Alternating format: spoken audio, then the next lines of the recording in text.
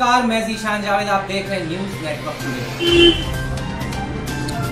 हम सीआईटी के जिला महासचिव सौरभ मिश्रा हैं। आज सीआईटी और किसान सभा दोनों ने संयुक्त रूप से माननीय राष्ट्रपति, भारत सरकार के नाम एक कमिश्नर कार्यालय, कम- माननीय कमिश्नर जी, कमिश्नर महोदय के माध्यम से एक ज्ञापन सौंपा है। मुख्य मांग हमारी ये है कि जो हमारे देश के नामी गिरामी पहलवान जंतर मंतर पे धरने में बैठे हुए हैं और जो उनके साथ अत्याचार सेक्सुअल हरासमेंट के जो आरोप हैं, उसकी निष्पक्ष जाँच की वो मांग कर रहे हैं। इस ज्ञापन के माध्यम से हम राष्ट्रपति महोदय से ये अपील करते हैं कि इस मामले में वो अपना हस्तक्षेप करें और पुलिस को आदेशित करें कि वो एफआईआर करे और निष्पक्ष जाँच करे। फिर इसके बाद जो भी निर्णय आए, वैसी कानूनी कार्यवाही की जाए। ये आज हम लोग ऐसी मुद्दे को लेकर ज्ञापन देने के लिए आए हैं, जो इस पूरे देश को शर्मसार करने वाली घटना है। जो इस देश के मान सम्मान बढ़ाने का काम कर रही हैं महिलाएँ और बेटियाँ, जिनके साथ इस देश के प्रधानमंत्री जो है, फ़ोटो खिंचवाने में अपने आप को गर्व महसूस करते हैं, उन्हें अपने इस देश की बेटियाँ कहते हैं।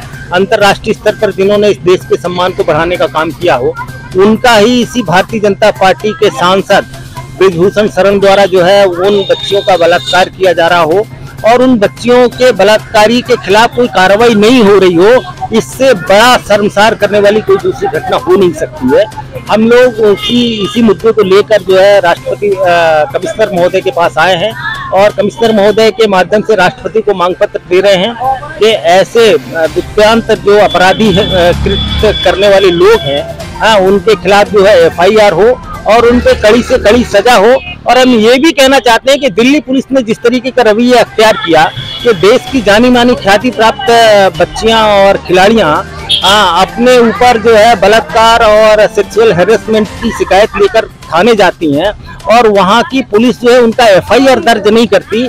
ये हमारे लिए और ज़्यादा चिंताजनक बात है कि इस देश के अंदर भारतीय जनता पार्टी की सरकार और उसके सरकार से जुड़े हुए लोग इस देश के अंदर कुछ भी करें, उनके लिए जो है किसी भी तरीके का कोई कानून कायदा नहीं बचने वाला है। ये हमारे लिए और ज़्यादा चिंता का विषय है। इसी सवाल को लेकर हम लोग यहाँ पर आए हैं और ये मांग करते हैं कि ऐसे लोगों के खिलाफ जो है वो कड़ी से कड़ी कार्रवाई हो और प्रधानमंत्री जी को पुनः ये एहसास दिलाना चाहते हैं कि आपने इनको बच्चियाँ कहा है।